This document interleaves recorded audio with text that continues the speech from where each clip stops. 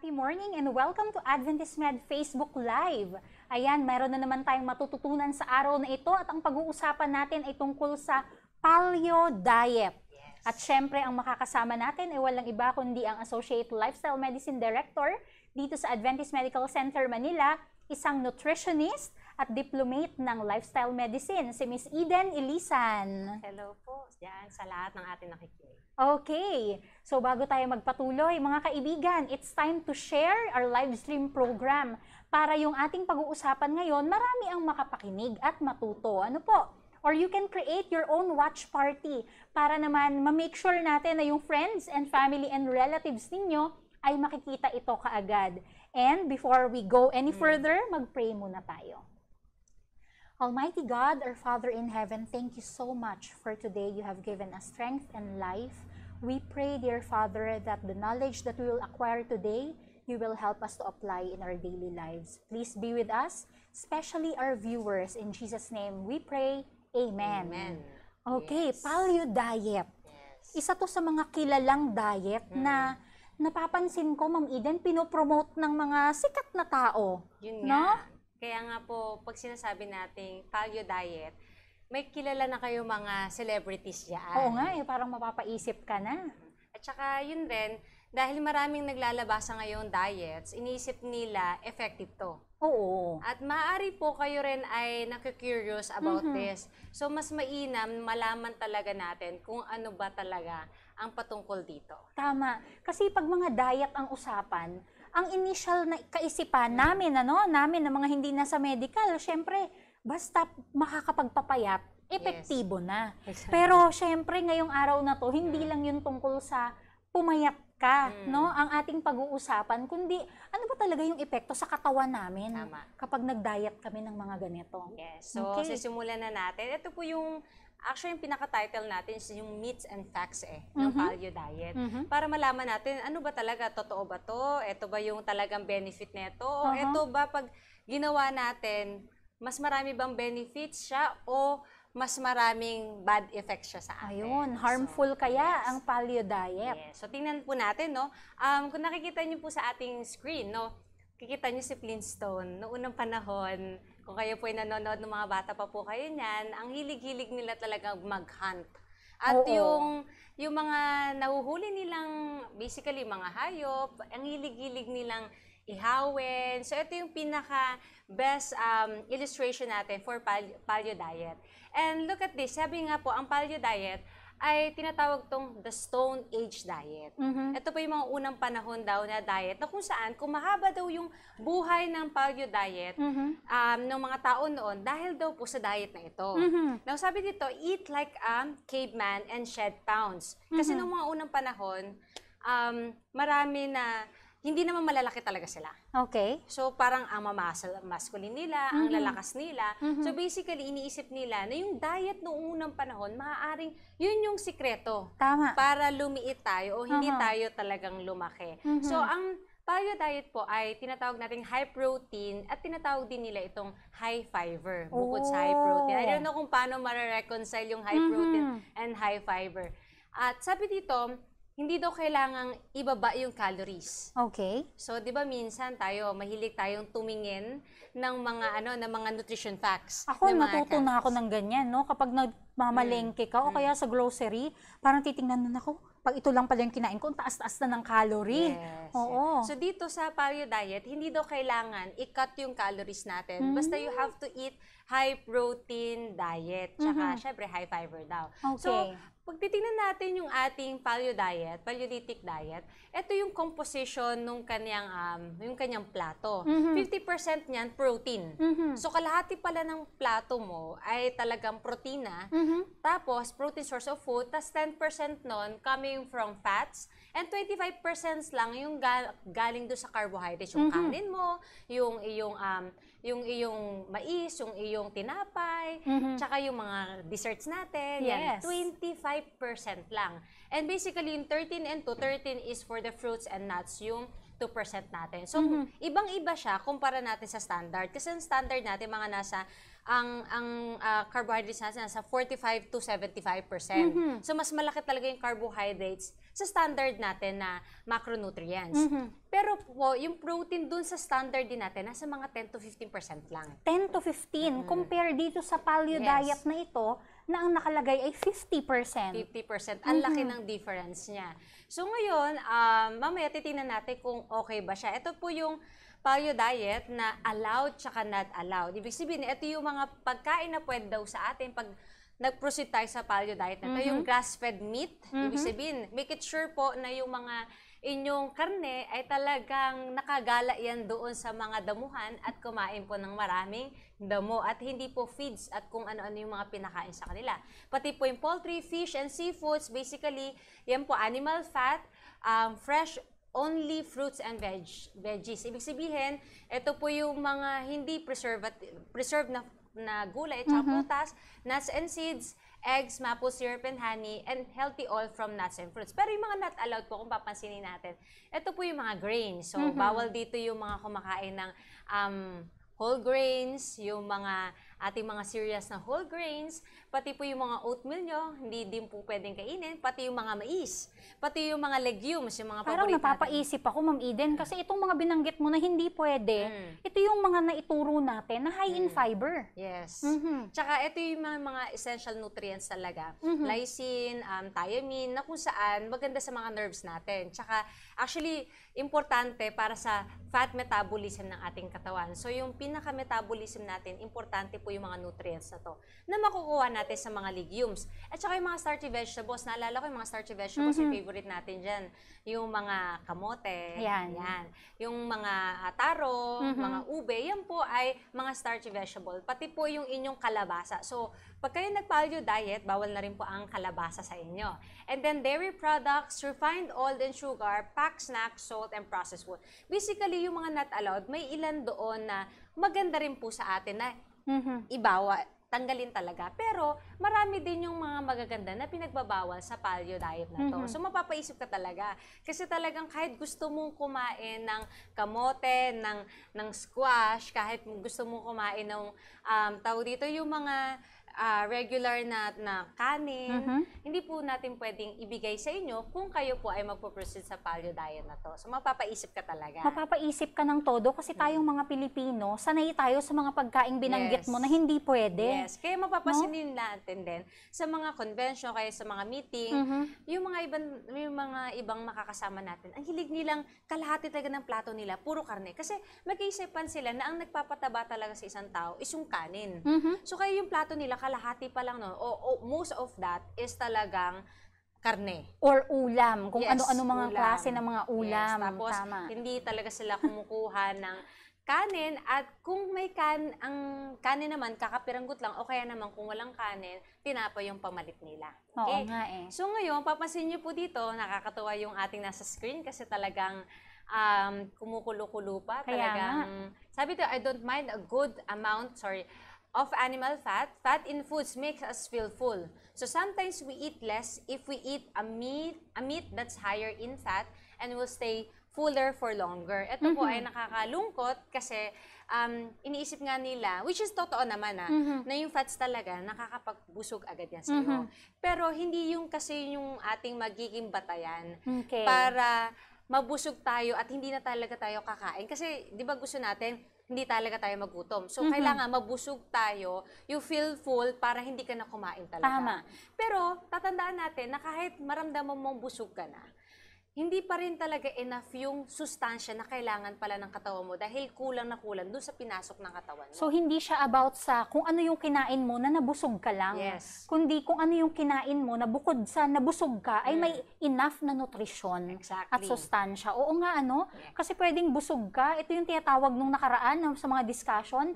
Pwede kang overfed pero Mm. Yes. undernourished pa Yes, rin. Tama yun. Oo. So ngayon po, ito naman po yung ah, meats and facts ng Paleolithic diet. Ayun. So number one, all grains are forbidden because they are product of modern agriculture. Mm-hmm. So high in carbohydrates, raised blood sugar level. Ito po yung meat one natin. Mm-hmm. And yung pangalawa naman po natin ay yung exclusion of grains, Mm-hmm. beans, legume, peanuts. Kasi naniniwala sila na mataas to sa lectin tsaka phytic acid. Ito yung, actually, ito po yung mga um, mga elements na kung saan nakakahadlang para ma-absorb talaga yung nutrients sa ating katawan. So, syempre, ito yung myths. Ito naman po yung facts. Um, gusto nating ipaalam sa inyo na kung pinagbabawal po yung mga grains, ay alam po ba natin na itong mga greens na ito ay mataas ang source nila when it comes to vitamin B, fibers, tsaka yung magnesium and selenium. Ito pong lahat na to essential for um, normalizing our blood sugar level. So, kasi pong, um, pag napasobra tayo kasi talaga ng carbohydrates, tapos hindi tayo nag-exercise, basically, magko-convert yun sa ating liver into triglycerides, and then magko- ah, mag-store siya into fats.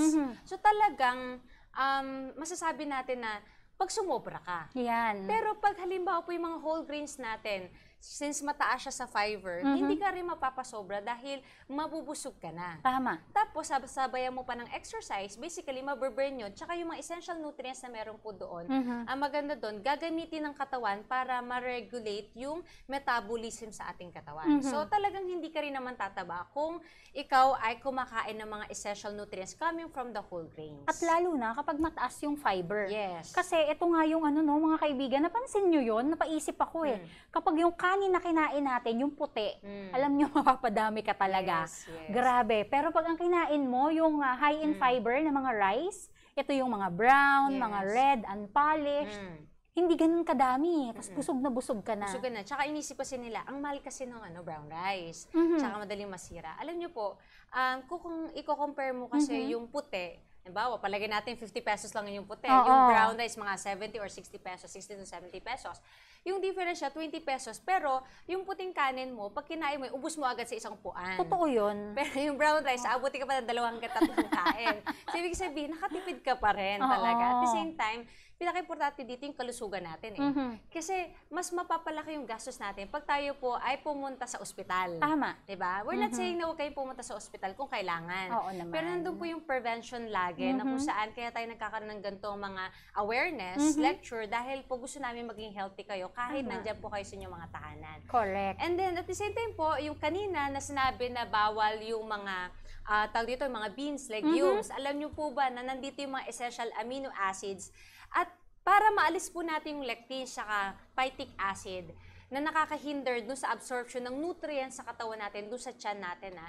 Ah, kasi dun parang sinasabi nila nahahadlangan yung pag-absorb ng nutrients. Basically po, ang importanteng gagawin nyo lang ay ibabad yan overnight.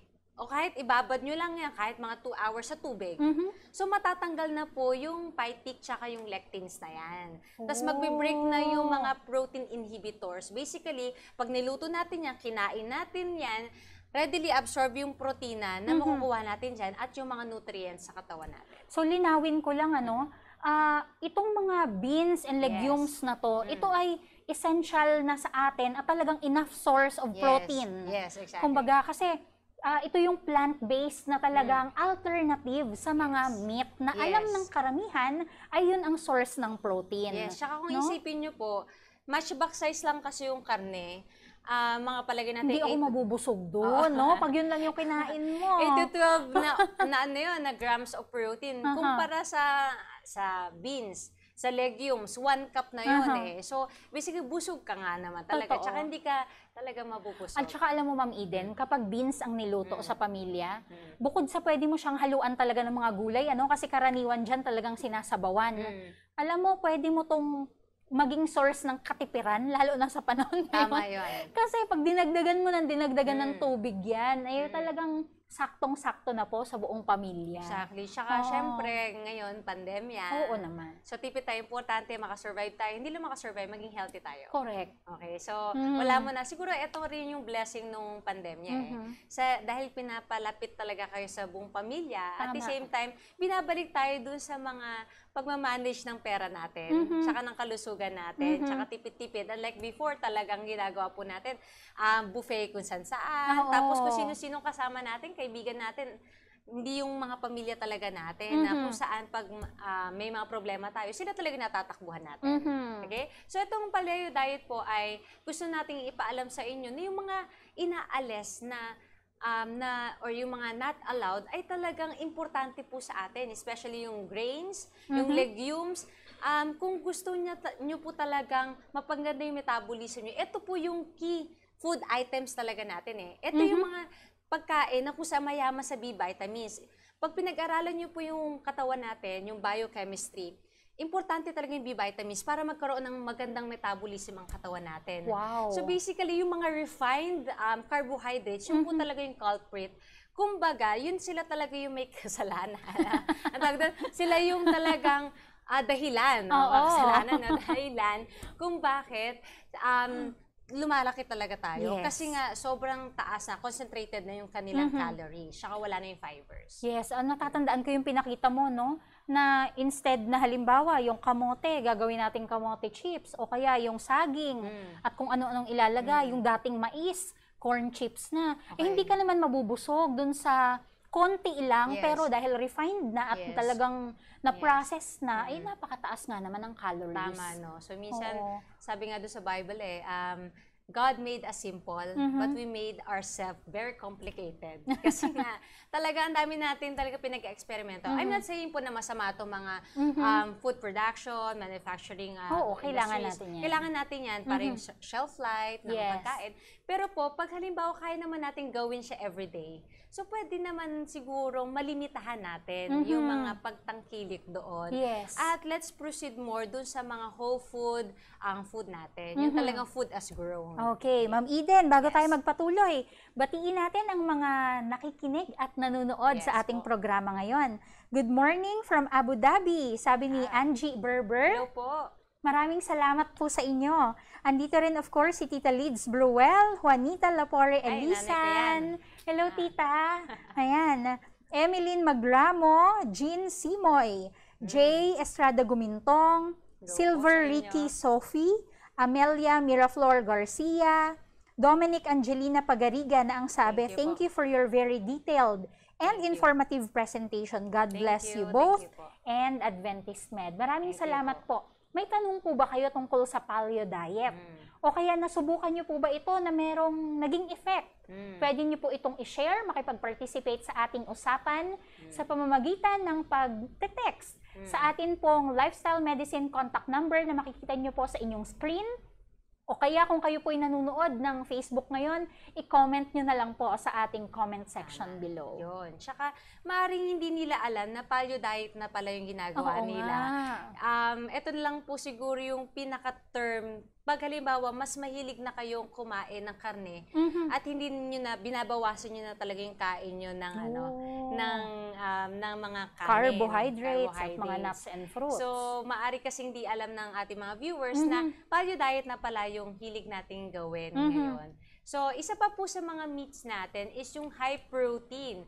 So, yung high protein, tsaka yung ah, pag mag-lose weight daw tayo without cutting calories. So, syempre, alam natin na yung standard nutrient percentage po ng protein ay nasa 10 to 15% lang kasi lahat po ng excess, especially sa protina, Mhm. ay mag increase po yung ating creatinine level. So, ito po yung um, napag-usapan natin nung June na kung saan yung kidney month natin, na lagi po ina-emphasize ng ating mga doktor, yung mga nephrologists natin, na pag nag-high protein intake tayo, delikado po yung kidneys natin kasi tataas talaga yung creatinine. Yung byproduct po ng mga protina na yan ay magiging ano po, ah, magiging uric acid. Mhm. Okay? And then eventually po, yung mga byproduct pa niyan, tataas po talaga yung creatinine level Yes. natin. At So, maraming mahirap. pwedeng mangyari sa Mahirapan kidney, yung no? kidneys talaga natin Mhm. kasi mataas yung molecules ng protein eh. Mhm. Basically, hindi naman dapat siya tumatagas talaga sa Mhm. kidneys natin at iniihi natin. Pero dahil po pag nasisira na yung yung mga ugat-ugat natin sa kidneys dahil po Mhm. sa high protein, wala po magagawin kidneys natin kundi masira at lalabas talaga sa ihi natin yung. Yes. mataas na protein. Yung iba dyan, may mga plus-plus na. Mhm. So, yun po, gusto nating makaiwas tayo sa pagkasira na ating kidneys. Although po nadalawa pa yung kidneys natin, pero nabanggit po na ating mga doktor na minsan lumalabas yung sintomas pag both kidneys na yung natamaan.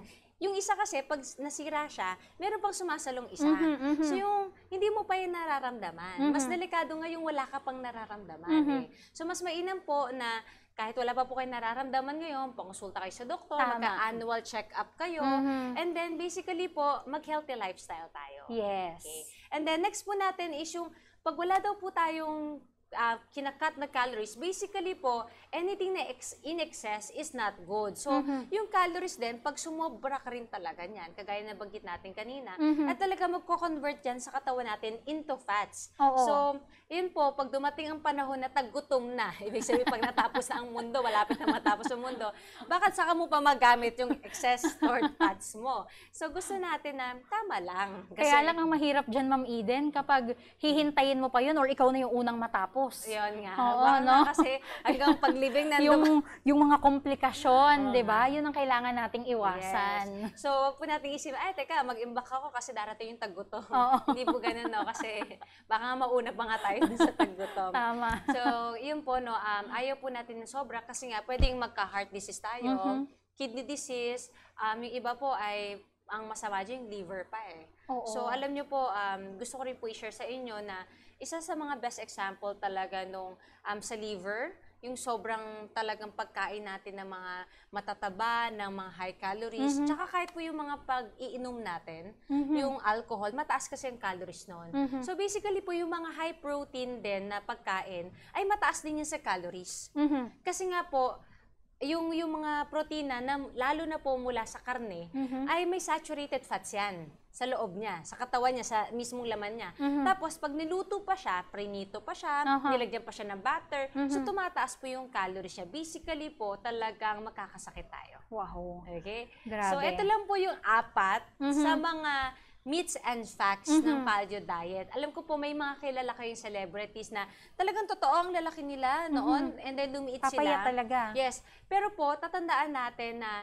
once na ito po ang piliin nyo, abrupt yung, ano, yung weight loss. Mhm. Pero syempre, may ano siya eh, meron siyang side effect. Yes. So maari ngayon hindi pa natin na-experience 'yan, pero later in life talaga lalabas na yung mga especially Mhm. po sa mga sa pag-aaral is yung cancer. Di- oh. Kasi po um isa sa mga pagkain din talaga ng cancer cells ay yung high in protein tsaka fats. Wow. Okay, so siguro sa mga susunod na panahon tatalakayin natin 'yan, pero po Mhm. mas mainam talaga na um balik tayo dun sa pinaka-standard Mhm. na sinabi sa atin ng ng ah, ating mga nutritionist Mhm. yung ating association na kung saan nasa 50 10 to 15% lang. Kasi hindi Okay. talaga kailangan sobra.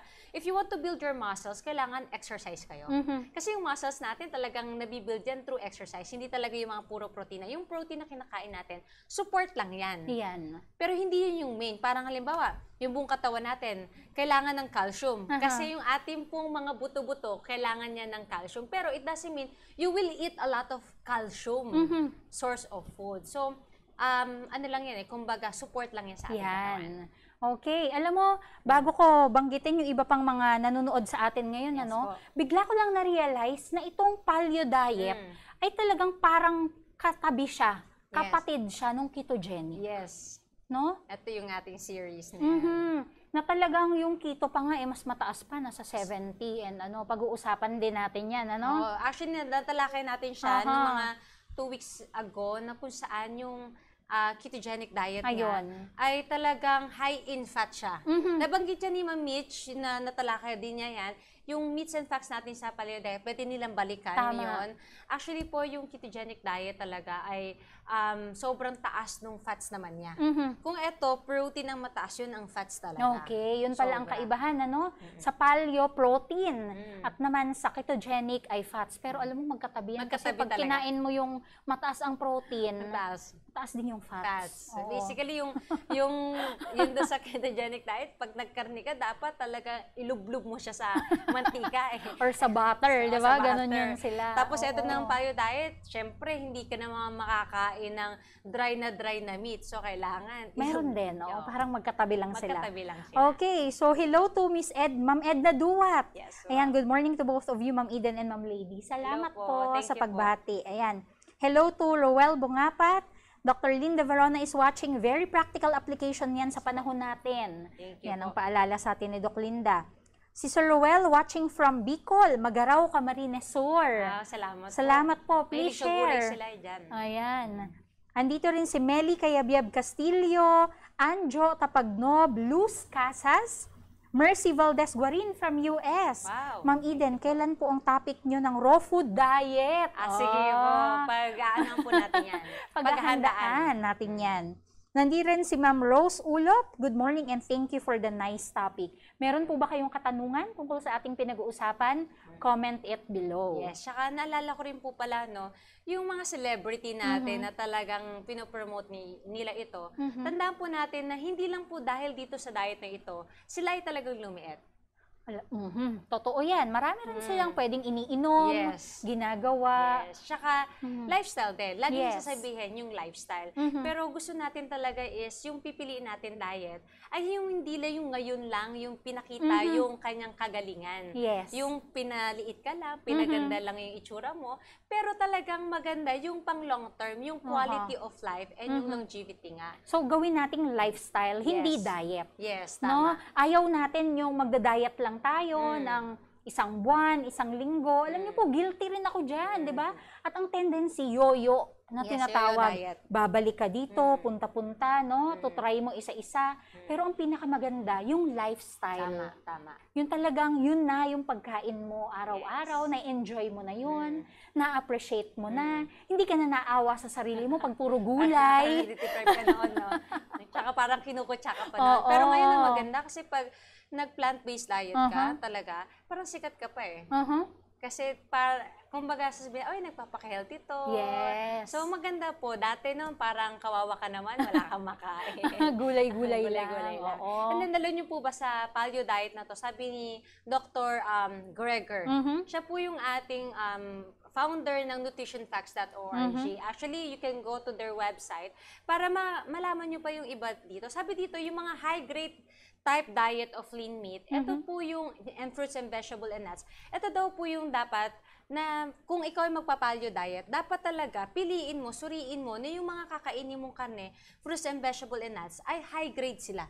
Ibig sabihin, Okay. sobrang ganda ng quality. Mhm. So, hindi lang pala na iniisip natin, yung original na paleo diet ay ito yung pinopromote. Hindi yung bastang karne lang at iiwas ka ng vegetables, saka yung Oh. mga kanin. Mhm. So, actually, wala po talaga nakaka-achieve niyan sa panahon natin ngayon eh. Mhm. So, mas mainam pa rin talaga you go back to the basic talaga, which is yung sinasabi sa Genesis na Yes. mga whole grains, yung mga ah, yung mga prutas at vegetables. And Mhm. sabi dito po ay it is impossible to follow. Yung sabi po si ni Tanner Mhm. na sun- susundin daw natin paleo diet. Kasi daw, pag in-avoid mo daw, hindi daw natin ma-avoid yung mga risks na associated dito. Mhm. Especially yung heart disease, Mhm. tapos ano daw po yung mga um, kidney disease. Mhm. Kasi nga, pag kumain nga naman talaga tayo ng mga ganong pagkain, talagang matitira yung mga essential o yung mga vital organs natin Mhm. sa ating katawan.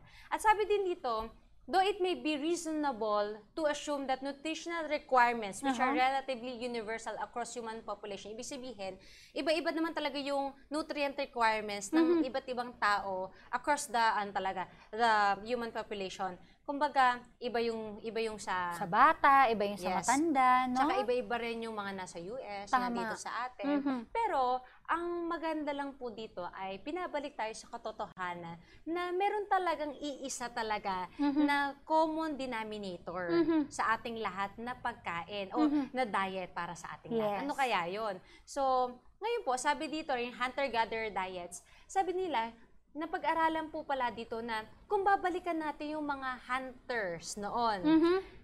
babalik at babalik daw tayo sa conclusion na yun daw ang mga tiyan nila ay kaparehas pa rin ng tiyan natin ngayon. Mhm. At yung mga hunters talaga noon, kaya daw pala mahaba rin ang buhay nila, hindi dahil pala nag-iba yung tiyan nila at iba talaga yung diet nila. Aha.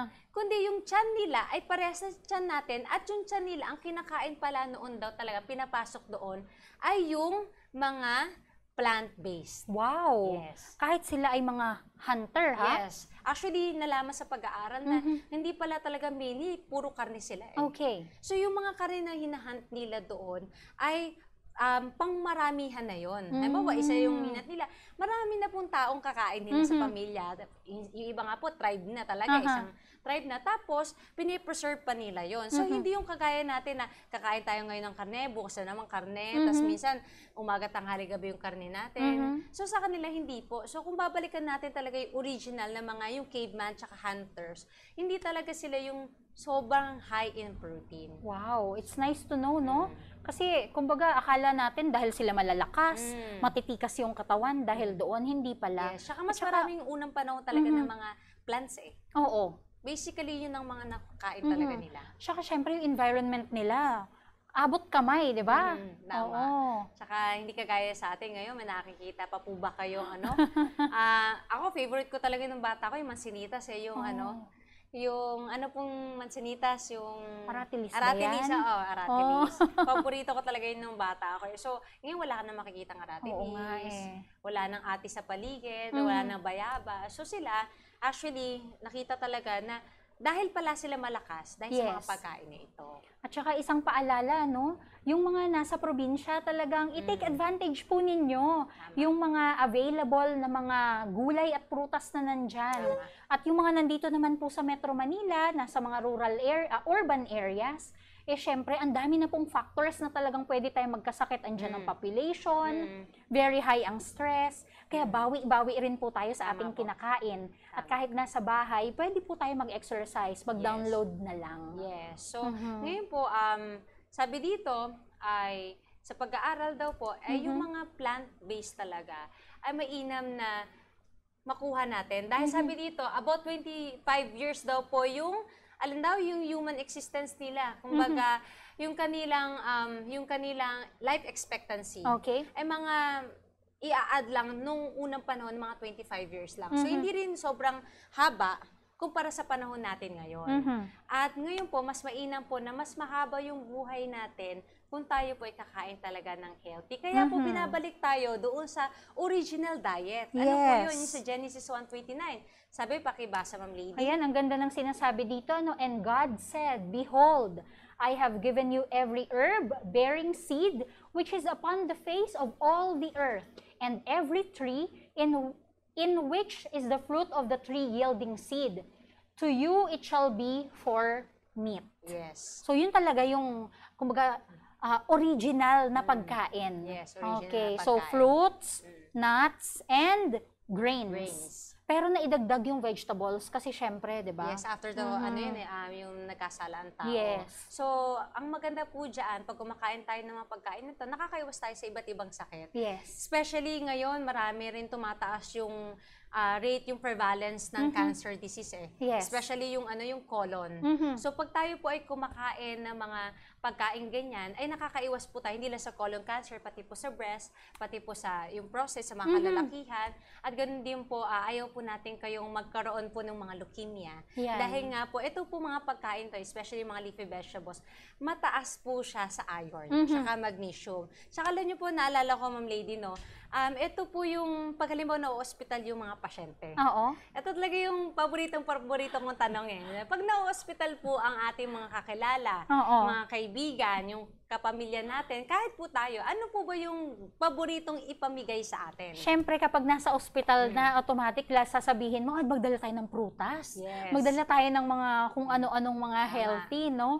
Pero tama ka eh. Kapag nasa ospital na, saka Mm. natin naiisip na yun yung Tama. ipakain. Tama. Mhm. Tsaka nakakalungkot din dyan, yung watcher mo, ang dadalhin doon ay Ay, syempre iba. Iba, di ba? Oo. Yung bibili sa labas, tapos may donut-donut pa dyan, Oo. may iba't ibang kulay.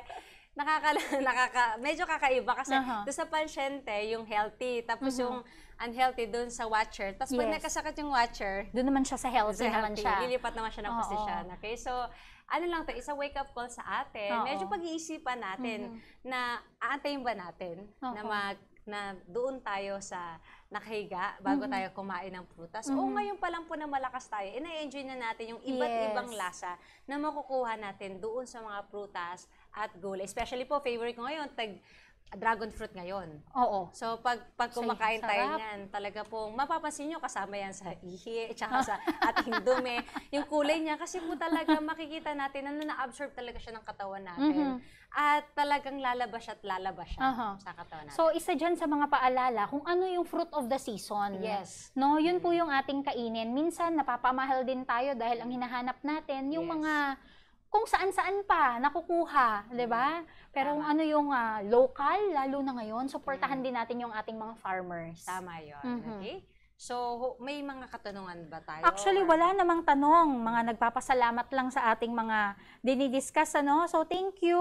Andito rin si Roswick Taktakon Regio. I love this, Ma'am Eden, ang topic Yes. natin. Thank Ano? you po. Si, nandito rin si Dang Trinidad. Maraming salamat po.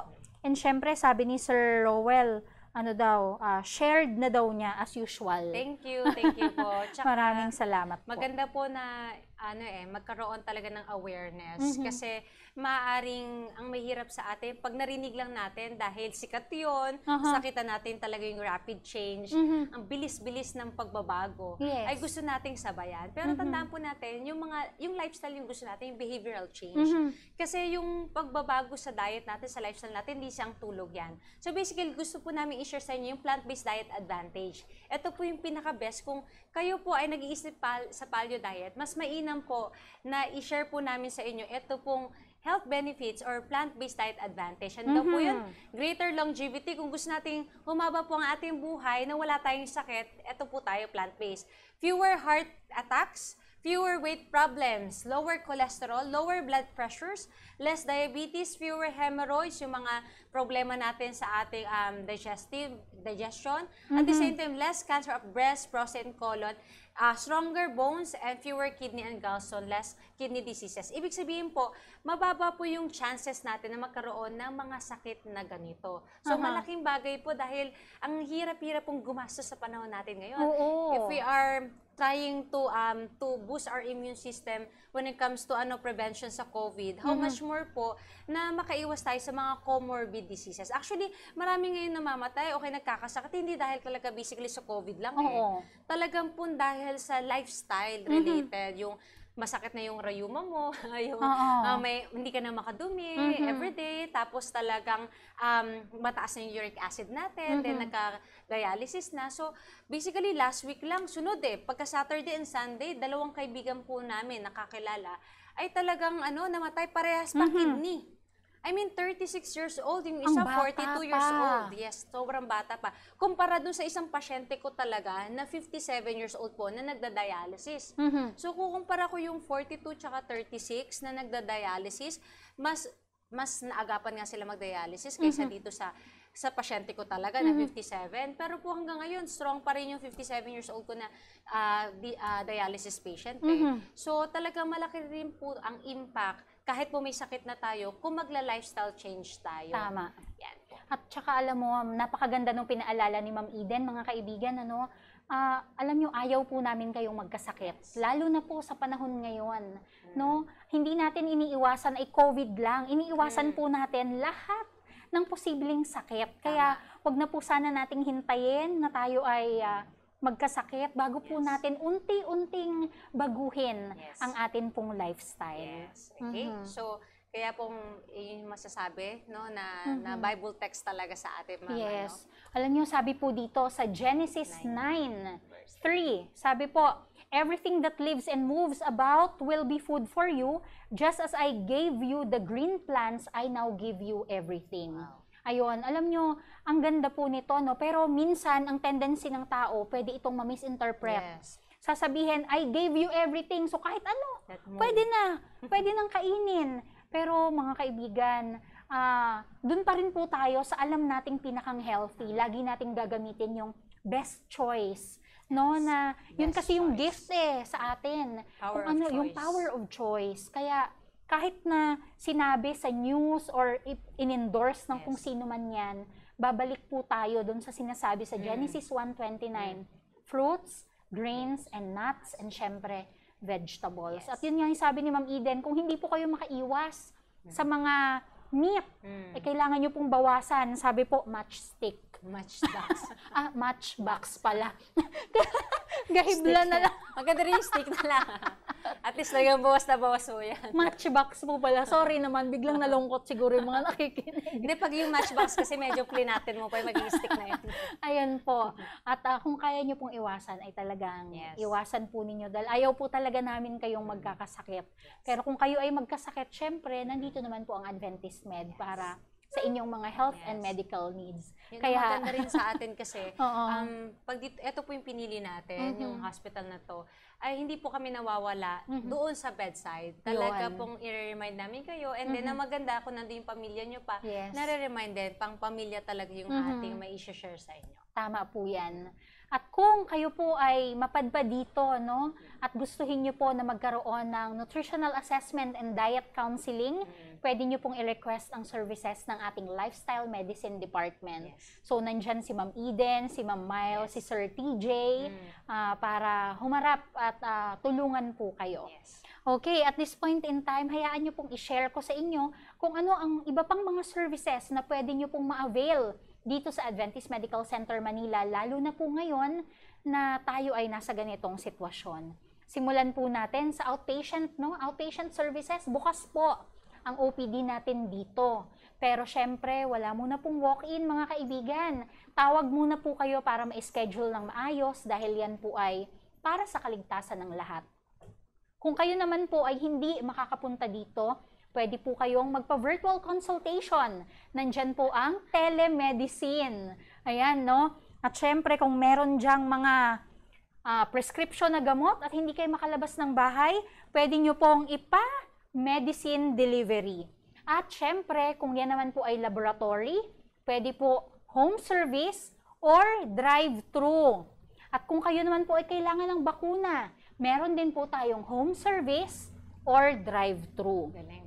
Sa mga kasamahan po natin at kaibigan na nangangailangan ipagpatuloy ang kanilang PT and rehab, maliban po sa services na bukas dito sa MAC ground floor na kailangan nyo rin pong magpa-schedule, ano, walang walk-in, ay meron din po tayong home care at syempre, upon the recommendation of your PT, kung kaya na at meron kayong kasama, pwede po ang tele-rehab. Sa mga nangangailangan naman po ng bunot o pasta, ayan, ah, isa yan sa mga services natin dito. Ang dental services ay bukas na rin po. Magpa-schedule lang po kayo. At kung meron po kayong kailangang medical records, hindi nyo na po kailangan maghintay or pumila ng matagal, pwede yan i-prepare ng mas mabilis, ano?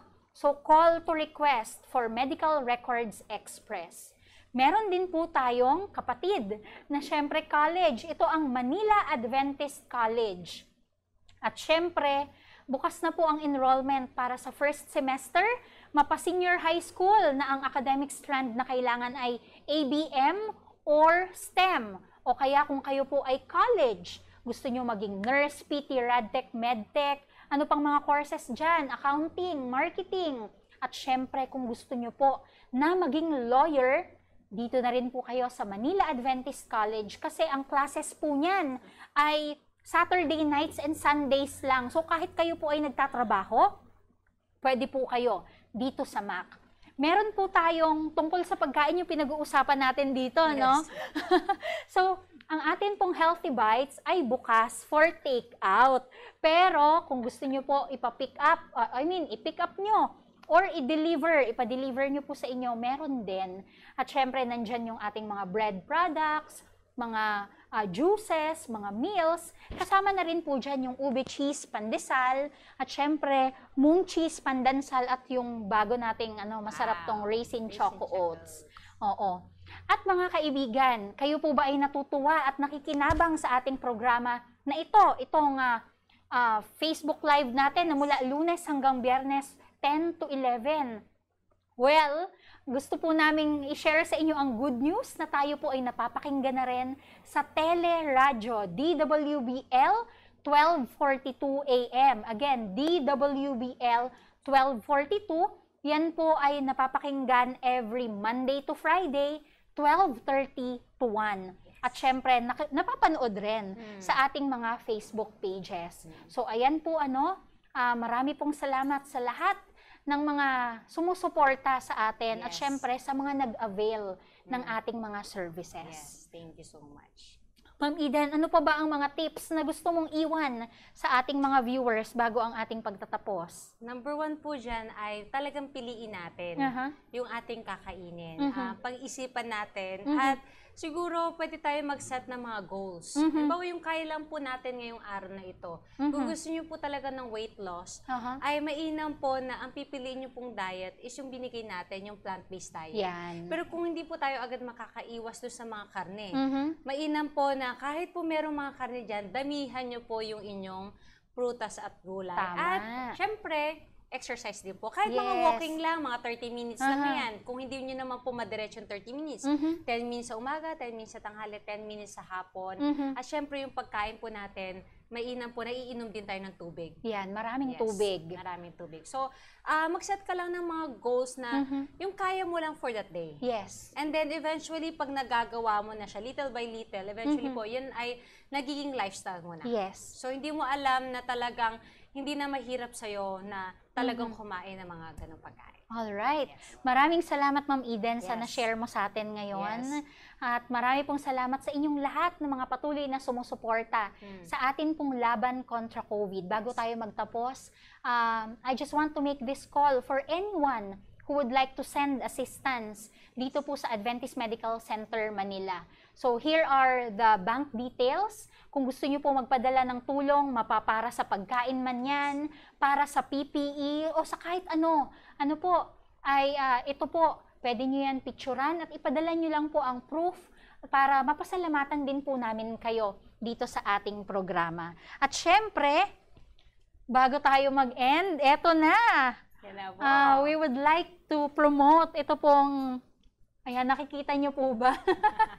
Ang ganda ng ating cover, ano? Si Ma'am. Eden po kasi ay isa talagang pet lover. Mm-hmm. At siya ay isang advocate ng hindi lamang plant-based nutrition, plant-based diet, kundi yung protection para sa ating mga animals. Yes. Kaya avail of this Health and Home Yes. uh, National Journal of Better Living. Mm. July to August 2020 na copy po ito.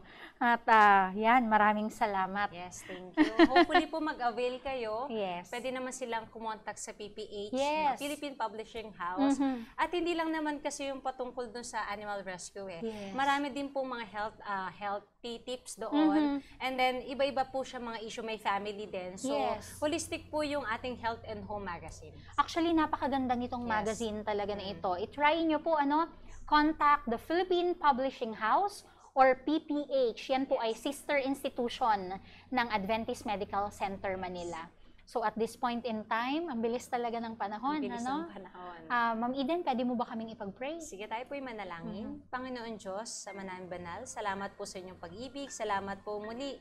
Kami ay may natutunan. At nawa, Panginoon, tulungan kami pumili ng naaayon sa inyong harapan, Mm-hmm. magpapalusog sa amin.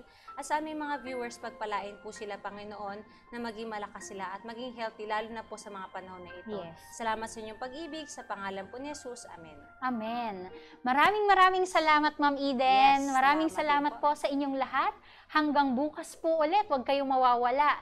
Alas 10 hanggang alas 11 po tayo. At pwede nyo ring subaybayan yung ating Voice of Health, no? Adventist World Radio po ang partner natin dyan sa ating teleradyo, DWBL 1242. So hanggang sa susunod na episode, please stay healthy and safe. Choose the best kahit uh, start today, okay? And don't forget that lifestyle is medicine.